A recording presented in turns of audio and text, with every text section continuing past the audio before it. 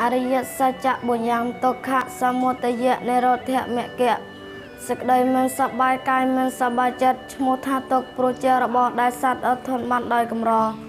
តណ្ហាគឺសេចក្តីអន្តៈអន្តែងចង់បានឈ្មោះថាសមុទយៈព្រោះជាហេតុឲ្យទៅកើតតណ្ហានេះមាន3ប្រភេទគឺតណ្ហាក្នុងអារម្មណ៍ដែលជាទីស្រឡាញ់ពេញចិត្តហៅថាកាមតណ្ហាមួយតណ្ហាក្នុងសេចក្តីចង់បានជានេះជានោះហៅថាភវៈតណ្ហាមួយ តណ្ហាក្នុងសេចក្តីមិនចង់បានជានេះជានោះហៅថាវិភវៈតណ្ហាមួយសេចក្តីរលត់តណ្ហាបានទុករមែងរលត់ទុករមែងរលត់អស់ឈ្មោះថានិរោធៈ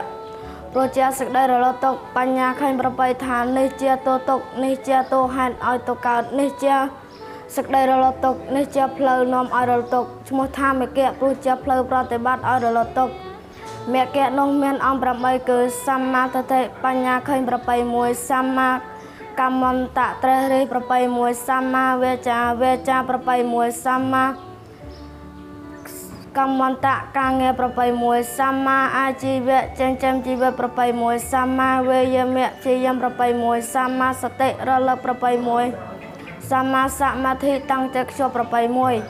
បញ្ចកៈពួក5អនន្តរិយកម្ម5យ៉ាងមេតុមេតុខេតៈសម្រាប់មេដាបេតុខេតៈសម្រាប់បេដាអរហន្តខេតៈ